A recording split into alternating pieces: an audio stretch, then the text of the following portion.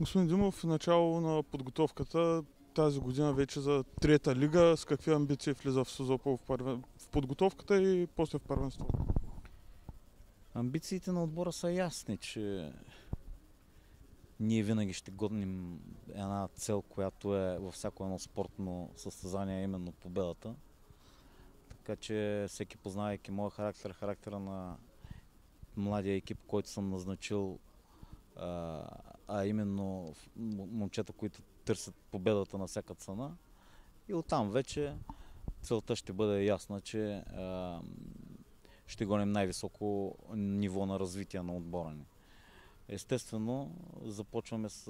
А, виждате, днеска мисля, че ние единствено Хебър от трета лига. Това са двата отбора, които започват на 18-ти подготовка, което само по себе си подсказва, че а, макар и по-рано, заедно с професионалните отбори, а, за нас подготовката е много важна, тъй като почваме да градим изключително и изцяло нов отбор.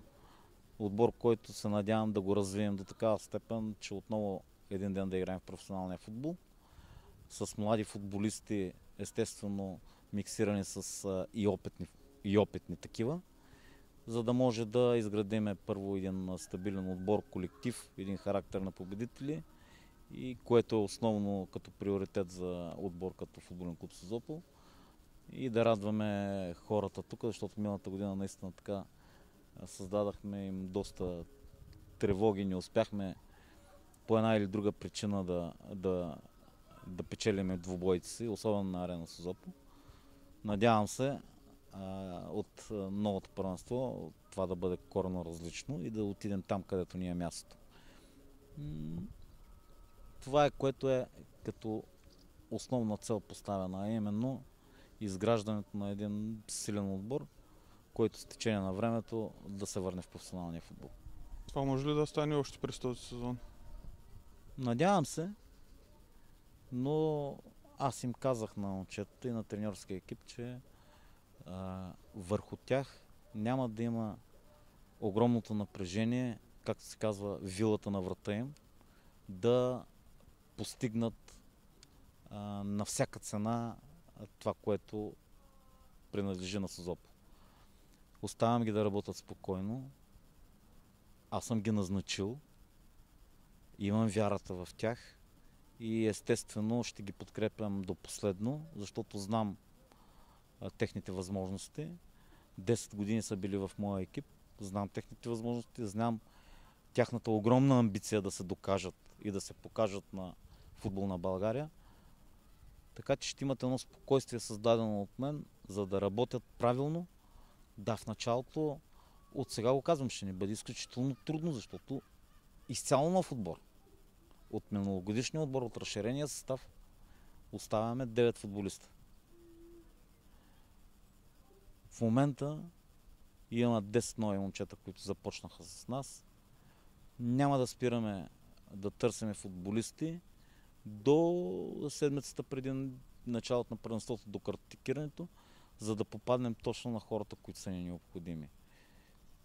Така че, защо не? Ако пък я изпълнят по-рано целта, ще се радвам за тях. Миналия сезон го приключихте с старши треньор Маргарит Димов. Същия треньорски екип ли остава? И вашите функции какви ще бъдат, ако, ако старши треньор е той? Моите функции са ясни. Първо, аз самия, четири кръга преди края, ги извиках и им казах, че искам да, да ги видя в тези четири последни двубоя, как ще се справят като екип и да ми покажат, че могат да работят вече самостоятелно. В тези четири двубоя те постигнаха две победи и играха доста успешно. И отбора игра много силно срещу Монтана, където загубихме 2 на 1 и, и, и не заслужавахме да загубим. Така че те показаха, победихме Марица Плодив, победихме Нефтохимик, показаха ми с тренировъчния процес, с амбицията, която имат, с начина на подготовка, с модерното им виждане спрямо футбола, че са готови да им дам шанс. Естествено, това мое желание съм го споделил и с президента господин Рейзи, Но той е такъв човек, че абсолютно всичко, което е необходимо за този клуб, минава през мене.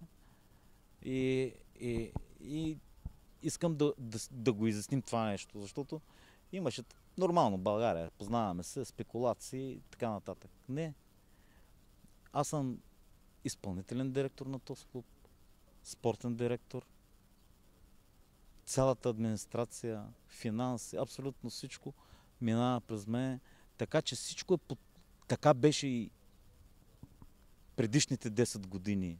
Само, че изпълнявах и ролята на старши треньор, тъй като лиценза, който го имам, не трябва да се забравя това нещо, че в футболния клуб треньора трябва да има и лиценза, който му разрешава да работи.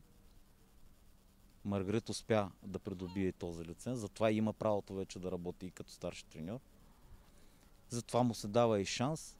Треньорския екип в лицето на Маргарит Димов, старши треньор, Петър Кюрмурджиев, играещ помощник треньор, втори помощник треньор, който е кондиционен треньор Михаил Ралев.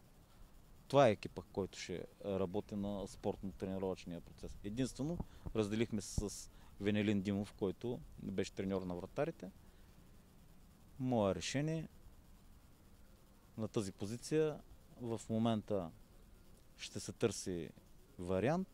Един от вариантите е и Свеленотев, който нали, така, е с доста опит вратар, да изпълнява и тази позиция, но още един път казвам, всеки един от а, този екип трябва да има лиценза и правото да работи в, този клуб.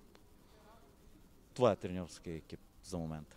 Очертава се доста интересна трета лига, най-вече от към регионални дербита, Созопо, Нефтохимик, Черноморец, Карнобат. Очакванията? Ми, това е много радващо. Аз се радвам за бургаския футбол, въпреки че нивото е по-долно, т.е. два отбора по Море и Несебър, които участват във втора лига и четири отбора от Бургаския район, които участваме в трета лига. Семи си искаше да има отбор в първа лига и тогава вече да има отбори във втора лига и в трета лига, но такова е настоящето. Интересна битка, интересно за хората, за тук района ще бъде битка. Какво значи? Всеки ще се гони интересите. Между другото започнаха така, особено от един отбор, който е току-що влезе в трета лига, удари така малко некоректно, но мисля си, че ще влезат в правия път. И, и, и това искам да го подчертая. Коректността е много важна между клубовете. В толкова години имаше, значи миналата година, по-миналата година, нали, в годините отборите, които бяха във втора лига, работиха в бургаския футбол, а миналата година бяхме четири отбор. Изключително коректно помежду си. Нали?